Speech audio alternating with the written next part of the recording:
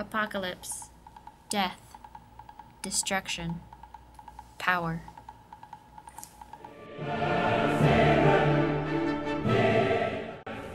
A world where plants are non existent, where the government has become one, where hell has become a reality and reality has become lies. This is not a story of rainbows and butterflies, where the world is as it should be. This does not end happily ever after. It started with a great war, a war that led to system failure. And it led to the death of many. People realized we were too dependent on plants. After all, why would we depend on a resource that we have little control over, where weather or disease can kill it? Story of the world's creation describes the falling of man because of one single plant. According to the logic of my world, plants cause the second fall.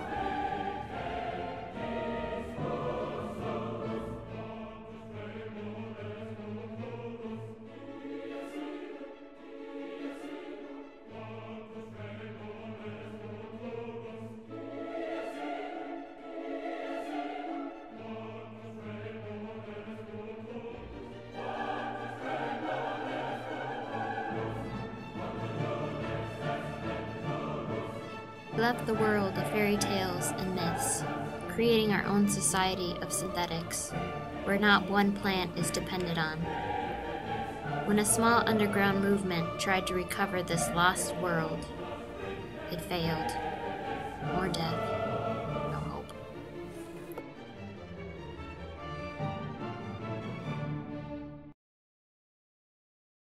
This is Experiment 492. I am standing here with Professor Green. Welcome. As you see here, we have one of our growth chambers where we are actually trying to regrow. Uh, these are sugar beets. You can see they're coming along very well. We have a temperature and humidity controlled room here to provide optimal uh, conditions for the growing of the sugar beets.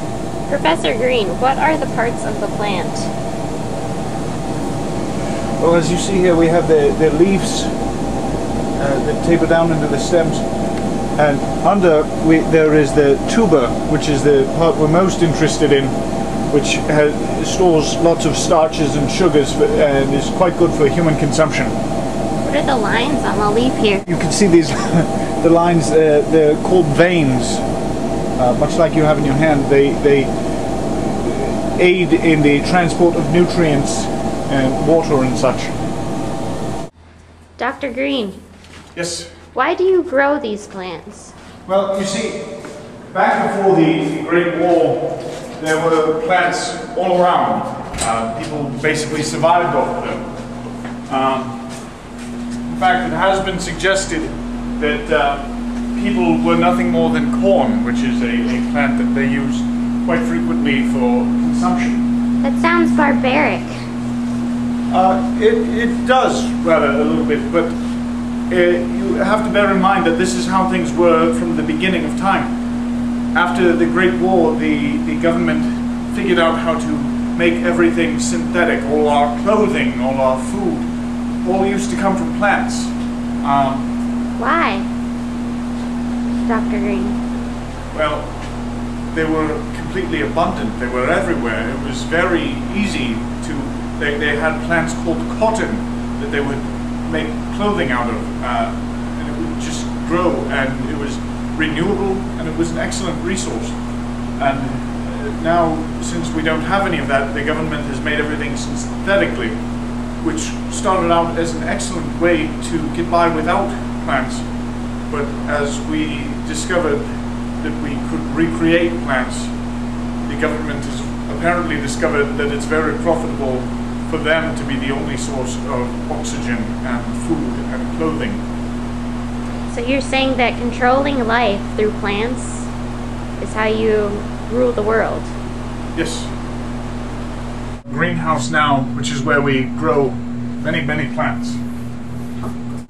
What are all these? Uh, well, these are ferns. You see, they're uh, not particularly good for consumption or clothing.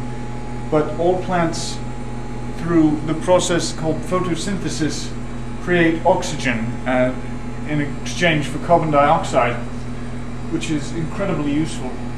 The new administration has figured out how to do this uh, with machines, but these plants do it on their own. It's really quite remarkable. Incredible. Yes. And they're beautiful. They are, they're all quite beautiful. What's wrong with these plants? They're all dying. Well, that's just the, the natural order of things.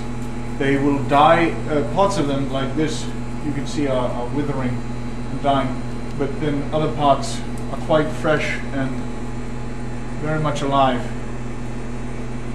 It's just how they work. How do you grow these things? Well, you see, uh, all the plants grow in soil, uh, which is dirt, and um, it needs several different kinds of nutrition and nutrients to grow. Um, they need water and nitrogen, which is in the soil itself, and, and there are several several other minerals and vitamins that they need. So you're saying that people used to get their food from dirt?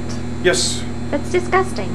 Well, actually, it's not as disgusting as you might think. The, the dirt wash- washes off quite nicely, you see, and, and it's really quite quite marvelous. As you can see here, we have our, our compost. Uh, all these, these leaves and plants will, will um, decompose. A fancy word for breaking down into more soil, and it's, it's very nutritious and very good for growing things in. Dr. Green, Yes, what do you know about dryads and fairies? Um, dryads and fairies were purely mythological creatures um, linked to plants. They're, they're, they're not real. um, but we used to think, well, I used to think that even plants were mythical. well, I, I suppose uh, you, you do raise a point as far as we, we, we don't know anything, and frankly, we can't know everything. Um, so I suppose there is some small chance of fairies and dryads and things. What's what's this? Uh, uh, don't don't touch that. Um, the, these are our cacti. Um, this in particular is a barrel cactus. The, these spines you see are very sharp and, and very uh, well. Well, they will hurt you very badly if you if you touch. What did they do, Dr. Well, you see, it's a defense mechanism. These these particular kinds of plants would grow in um, deserts. Most of what outside is now.